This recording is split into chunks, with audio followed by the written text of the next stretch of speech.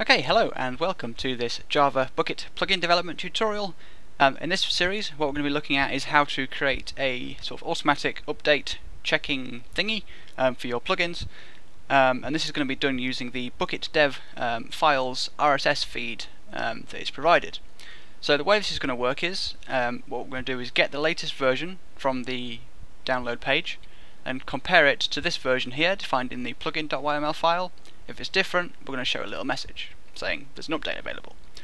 Um, so the idea here is that um, it's like a sort of, sort of, helper for server admins, I guess, to um, you know notify them of updates. Pretty simple.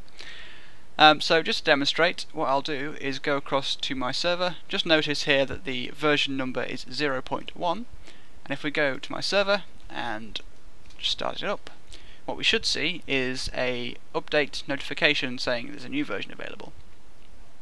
Um, I'll just wait for it to do that. I've got a new microphone by the way, you can probably tell I sound different. Anyway, there you go. You can see that the plugin's been enabled and then it says a new version is available, 0.14, which is obviously not 0.1, and then it tells you the download link. Just notice that this isn't a download link for this plugin because this plugin isn't a real plugin, it's just a does nothing plugin. Um, there are a few of those, but you know. Um, yeah, so just don't worry about this download link being different. I just used the RSS feed from one of my projects just because it was easier than trying to think of a way to get around that. So obviously this is automatic, it comes from the feed itself. Um, and if I just, for the sake of example, let's just stop the server and I'll go back to the plugin.yml, we'll change it to 0.14 which is the latest version give it a quick export and start it up again and this time we should see that there is no update notification at all.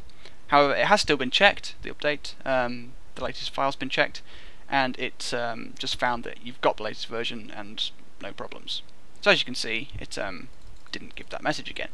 So that's enough of me talking, um, so come back for part uh, 1 if you want to know how to make this.